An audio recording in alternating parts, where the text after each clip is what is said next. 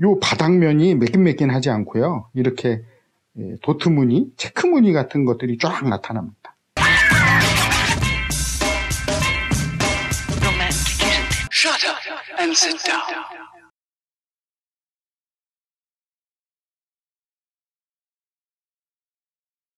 조박사의 피싱 랩입니다. 아, 오늘은 옛날 일 하나 소개 또 해드립니다. 아부 ABU 엠베서더 5000번 아십니까?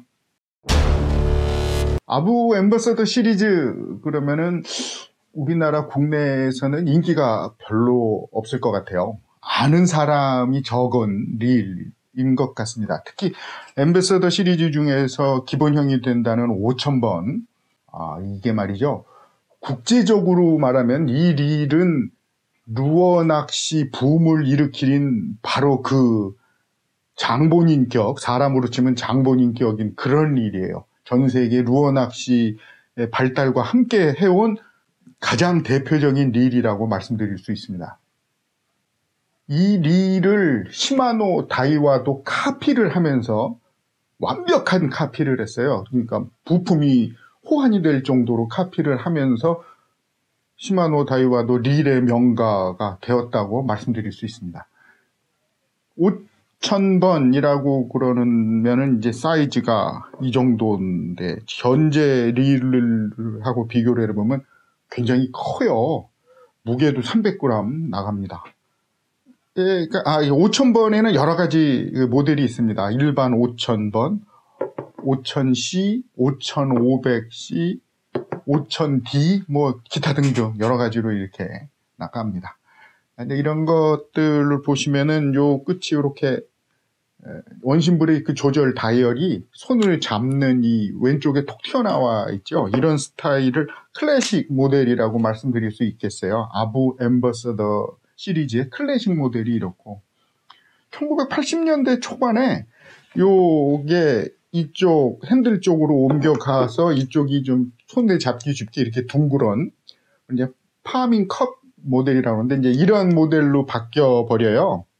뭐 물론 이 클래식 모델이 현재 그 아부 그 릴, 그래서 아부 가르시아에서 생산을 소량 하고는 있습니다. 이 클래식 모델 팬이 있으니까 그런 거 말고 진짜 그 옛날 거 1980년대까지의 옛날 거 그런 당시의 그 모델을 루어낚시인이라면 누구나 한 번쯤은 소장해 보고 싶은 전설적인 명기라고 감히 말씀드릴 수는 있을 것 같아요.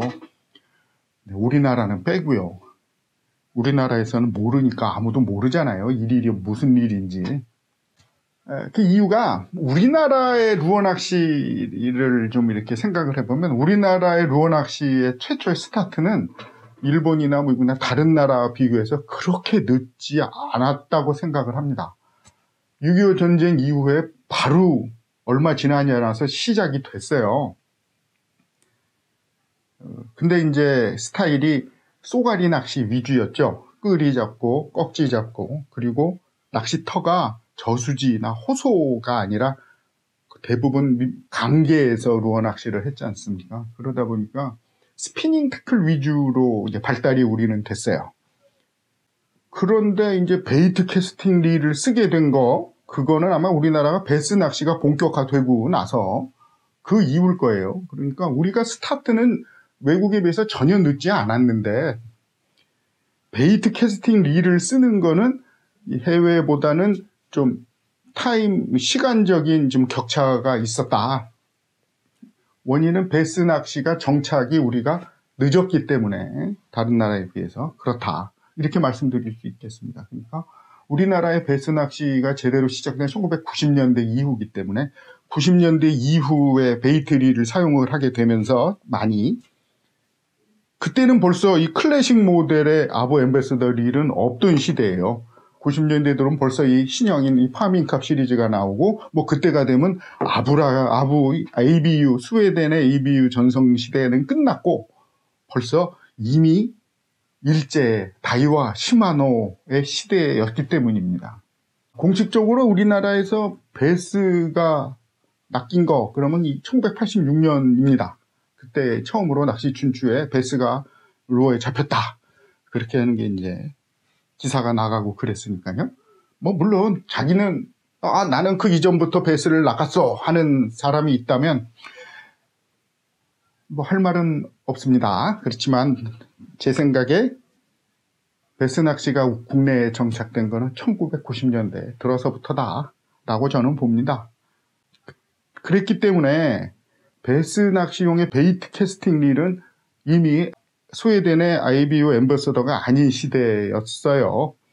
뭐, 오리지널 클래식 모델은 다 이미 생산이 안 되던 시대고 다 이런 palming cup 모델이 주류인 시대였고 물론 ABU 자체가 주류에서 거의 뭐 은퇴되다시피 한 시대지 않습니까? 이미 일제 다이와 시마노가 주류인 시대였으니까요. 시대에 들어왔으니까요. 90년대부터. 자, bait casting 릴의 흐름을 잠깐 말씀드릴게요. 뭐 자주 말씀드리는 거지만 영국에서 multiplier라는 최초의 릴이 탄생을 합니다. 발명이 된 거죠. 그게 bait casting 뭐, 릴 모양이었습니다. 근데 영국 내에서 별로 인기가 없고 이게 미국으로 이제 수출이 됩니다. 미국에서는 이 고가의 사치품이 되잖아요. 영국 수입품이니까.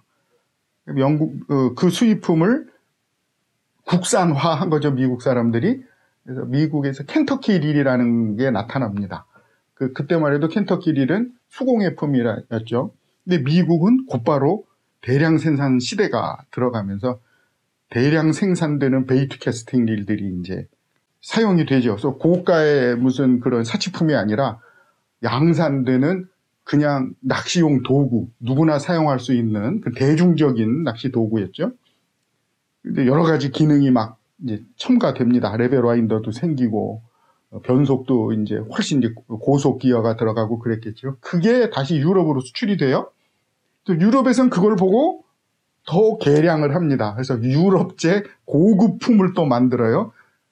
여기에 등장한 게 바로 스웨덴 ABU Ambassadeur 릴입니다. 그게 다시 미국으로 수출이 되죠. 미국에서는 싼 어, 대중적인 음, bait casting 릴과 고급에 훨씬 사용하기 좋은 유럽제 수입품 공존하게 되는 겁니다. Ambassadeur 릴, Ambassadeur 5000이 왜 유명했냐, 당시에 backlash를 방지하기 위한 원심 브레이크라는 게 처음 들어갔기 때문이다. 1952년도에 발명을 해서 집어넣었어요. 이게 그 당시의 모델입니다. 빨간색의 Ambassadeur 5000번이에요. 원심 브레이크 들어가 있습니다. 이 5000번이 이제 1952년도에 개발이 되고 10년 좀 더 지나서 1966년도에 볼 베어링이 장치된 5000C가 나타나요. 검정색으로 나옵니다. 그리고 또 한 몇 년, 5, 6년 후에 1972년도에 high speed 고속 기어를 그 기어비를 높인 5500C가 나옵니다. 역시 C가 붙어 있으면 볼 베어링이 들어있다는 소리예요. 그러니까 캐스팅도 잘 되고 고속으로 회전이 되고 그다음에 1년 후 1973년도에는 녹색의 5000D가 나옵니다. 아, 5000D는 direct 릴이에요. 이건 아마 미국에서 인기가 많았다고 그래요. 어, 캐스팅할 때는 똑같이 클러치에서 캐스팅을 하는데 fighting을 할 때 브렉이 없습니다. 이건 direct 릴이다 보서 역전이 되는데 요걸 다이얼을 돌리면 이 역전하는 정도가 헐렁해지기도 하고 빡빡해지기도 해요. 그래서 큰 고기가 물어서 땡기면 돌리다가 손을 놓으면은 역전이 되는 거죠. 그리고 이 라인 알람이라고 어, spool free를 했을 때도 줄을 차고 나가면 따르륵 소리가 나게 하는 이런 그런 기능도 있어요. 거기다가 최초로 초창기의 ABU의 그 핸들은 이렇게 조그맸습니다. 그러다가 이렇게 싱글 핸들이었거든요. D에서 처음으로 파워 핸들이 붙어요. 아마 이게 미국에서는 루어 낚시에만 쓰이는 게 아니라 이렇게 놔두고서는 미끼 낚시에서도 큰 고기 잡는 미끼 낚시 많이 사용을 했나 봐요. 그래서 이 5000D가 나왔고요. 실용성을 가격이 볼 베어링 필요 없다. 그래서 이 5500에 볼 베어링이 없는 이 좌우 이제 부싱으로만 처리된 5,500도 있었습니다. 빨간색. 그게 이제 75년도였고, 77년도에 이제 5500C를 개량한 5600C가 나와요. 그건 제가 지금 가시, 가지고 있지는 않고 이건 일본 친구 줬습니다. 어, 훨씬 저보다 이 아부리 수입한, 어, 수집하는 친구한테 줬습니다. 요건 최초로 요런 클러치 스위치가 요런 게 아니라 처음으로 이 아래 썸바가 나 빨간색 플라스틱으로 된 큼직한 썸바에 스위치가 달려있는 그런 앰버서더가 있었어요. 처음에 말씀드린 대로 이 앰버서더 5000번은 일, 미국도 일본도 루어낚시 붐을 일으킨 그 바로 그 해당하는 그런 릴입니다만은 요즘 릴에 비하면 덩치가 완전 굉장히 크잖아요. 루어 낚시에 사용하는 bait casting 릴이 기본형이 된 거는 어, 사실입니다만 크기가 아무래도 크니까. 근데 이게 일본에서 인기가 막 커지다 보니까 작은 릴들이 나오기 시작합니다. 스프리 좁은 4,500, 아예 전체적으로 한 3,500, 뭐 2,500, 2,500, 1,500 이렇게 점점 작은 사이즈들이 등장을 해요. 일본에서는 2,500 사이즈가 가장 인기가 많았다고 그럽니다. 자, 이게 대충 이 클래식 아부 엠버서도 5,000번에 관련돼서 말씀을 드렸는데 이게 우리나라에서는 인기가 없고 뭐 아무도 모르지만 이게 미국이나 일본, 유럽의 그 빈티지 릴 콜렉터들, 수집가들한테는 엄청나게 인기가 있어요. 한 10년 전까지만 해도 아주 난리였을 정도였습니다. 요 10년 사이에 인기가 분명히 이제 줄기는 했습니다만 아직도 이 엠버서더 릴을 모으려고 그러는 사람은 많아요. 이베이의 auction 같은 데 들어가 보면 아직도 출품한 사람도 많고 그거를 낙찰받으려는 사람도 아직도 많이 있습니다. 음, 그러니까 같은 클래식 모델입니다만은 요즘도 이렇게 똑같은 모델이 이렇게 재생산 레플리카 모델들이 나오고는 있습니다. 그거 말고 진짜 옛날 60년대, 70년대, 80년대 초반까지의 오리지널 빈티지 신품이라면은 뭐 부르는 게 값이고요. 중고품이라도 상태가 좋으면 꽤 고가에 이렇게 거래가 되고 있습니다. 아, 왜 수집가들한테 이렇게 인기가 있냐 하면은 상태가 좋으면 이제 이게 뭐 돈적 그 경제적 값어치가 있다고도 그 사람들은 생각하는 거고요. 거기다가 이게 생산 모 연도 뭐 같은 모델이라도 생산 연도에 따라서 조금씩 조금씩 마이너 체인지되어 있는 부분들이 많아요. 그러다 보니까 이것도 갖고 싶고 이것도 갖고 싶고 똑같은 거지만 여기가 모양이 다르니까 이런 거를 다 수집해 보려는 수집가의 그 욕망을 자극하는 그런 요소들이 있어요. 요 side plate 모양이 바뀌고 level winder 모양이 바뀌고 옆에 side cap의 이 dial cap 모양도 바뀌고 star drag의 모양도 바뀌고 그렇게 좀 세세한 부분이 변경되는 것들이 많이 있거든요. 수집 붐이 생기다 보니까 이베이 옥션에는 이제 악덕 상인들이 나타납니다.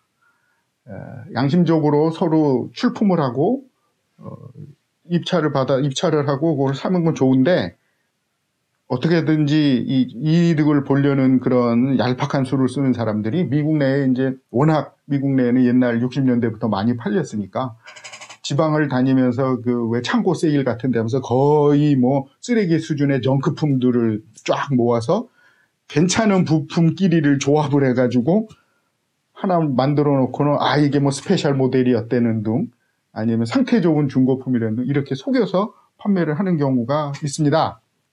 속질 않으려면 ABU 릴은 1955년도부터 이렇게 적용을 시킨 훗 넘버가 있습니다. serial number가 요 foot 아래에 번호가 적혀 있어요. 그거를 확인을 하시면은 좋습니다.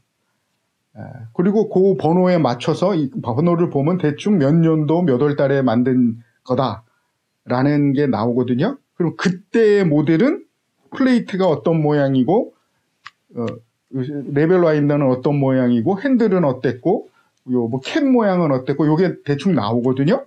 그거를 확인을 하시면은 속지는 않죠.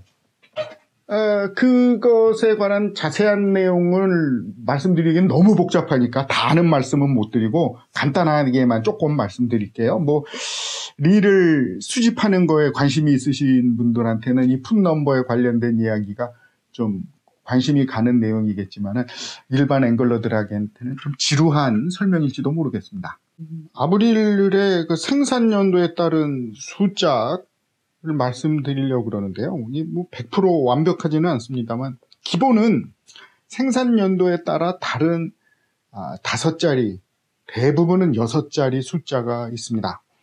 다섯 자리로 나오는 거는 아주 옛날 어, 엠버서더 초기형이 뿐이에요. 아니면 어, 이 릴 같이 이 왜 limit version 있잖아요. CD라든가 아니면 한정 생산품들은 다섯 글자를 주는 경우들이 있습니다. 보통은 여섯 자리가 많은데요. 그러니까 원래 이 훗넘버가 생긴 게 1955년도부터니까 한 5년 정도는 의미 없는 다섯 자리들이 이렇게 적혀 있었습니다. 해석이 안 돼요. 생산 연도 표시도 아니고요. 이게 초창기의 엠버서더 5000번인데 뒷면을 보시면은 이렇게 이제 맥긴 맥긴 합니다. 바닥에 아주 광택이 있어요. 그리고 여기 보면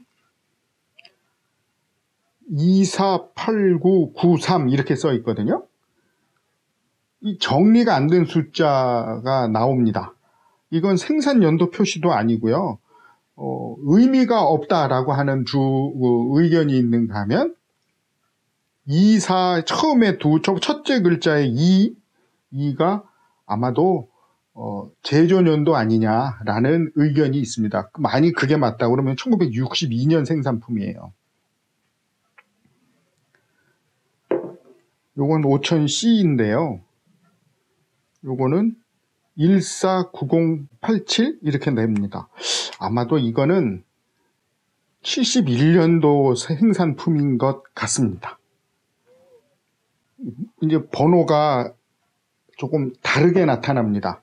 뭐 060900이라든가 뭐 087200이라든가 아, 처음 두 자리가 생산월 그 가운데 두 자리가 연도 이렇게 되고 나머지 두 자리는 의미불명 이렇게 돼요. 060900이라면은 1969년 6월 생산품이고 087200이면은 1972년 8월 생산품이 되겠습니다. 그 이후에 72년도부터 이후에는 음, 요 바닥면이 매긴매긴 하지 않고요. 이렇게 예, 도트 무늬, 체크 무늬 같은 것들이 쫙 나타납니다. 그리고 이제 예, 요 번호가 바뀌어요. 73110이네요. 이제 처음 두 자리가 연도, 그 다음 자리가 제조 연, 월, 제조 월, 그렇게 되고 아마 나머지 공이 두, 번, 두 자리는 로트 번호인 것 같습니다. 73110이면 1973년 11월에 만든 건데 또 로트 두, 번, 두 번째 로트에서 나온 생산품이다라는 의미가 될 것 같습니다. 아마 70년대에서 80년대 초반까지의 번호는 이런 스타일이 제일 흔할 거예요. 그 이후에 이제 어 85년도부터 이제 모델 번호가 바뀌는데 그때부터는 벌써 이제 클래식 모델이 아니에요. 클래식 모델이 아니고 뭐 이런 파밍카 모델들이 이제 주류가 되는데 그때 모델 번호가 또 좀 달라집니다. 아, 세 자리거나 또는 일곱 자리 숫자로 바뀌는데요. 중간에 그 대시가 붙어요. 90 대시 0, 899 대시 90 뭐 이런 걸로 바뀝니다. 제조년도, 출하년도 뭐 이런 뭐 표시라고 그러더라고요. 근데 제가 85년도에서 90년 사이의 모델은 갖고 있질 않아서 특별히 말씀드리기가 좀 뭐하고요. 그러다 이제 90년대 이후에 생산되는 모델들, 아, 뭐 같은 클래식 모델이지만 originality가 좀 떨어지고 뭐 거의 복각품 수준이라고 그래야 될까요?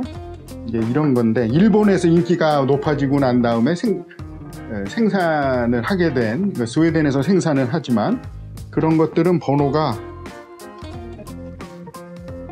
좀 많이 달라집니다. 공 0이 많이 붙어요. 이렇게 보시면 04 0004예요. 90년대부터는 이렇게 0이 많이 붙는 번호로 바뀝니다. 맨 뒷자리가 제조 연도래요.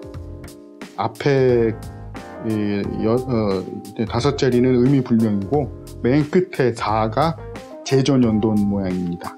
그러니까 이거는 1994년 모델이에요. 아, 그 다음에 말씀드리고 싶은 게 이제 이 생산 연도에 따라서 모양이 조금씩 달라진다고 그랬잖아요. 이제 쉽게 말씀드리면 이 side plate를 보시면은 이렇게 이렇게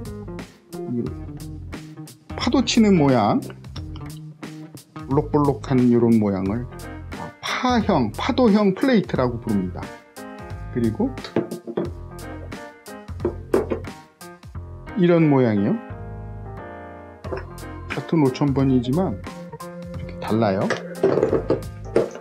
같은 5000번이지만 요거는 요런 볼록볼록한 모양인데 비해서 얘는 이런 요런 요거는 파도형 파형 플레이트라고 그러고 요거는 산형이라고 그래요. 그 뫼산자 산자를 써서 산형 플레이트라고 그래요. 그리고 요게 이 level winder 뭉치가 동그랗잖아요. 동글동글한 놈이 있는가 하면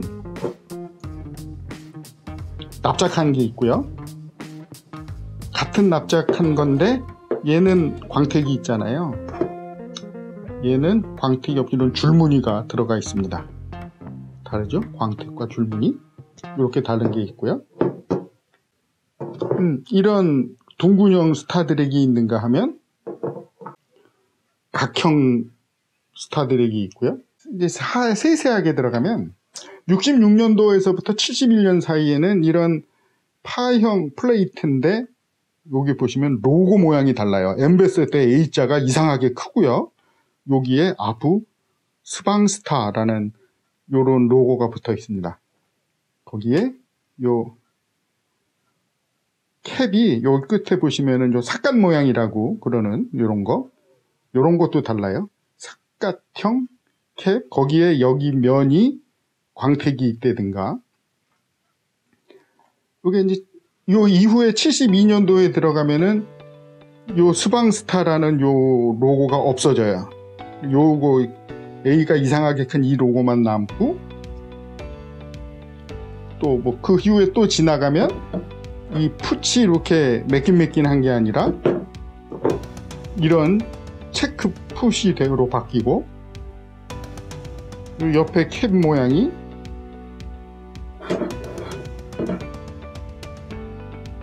확실히 다르죠?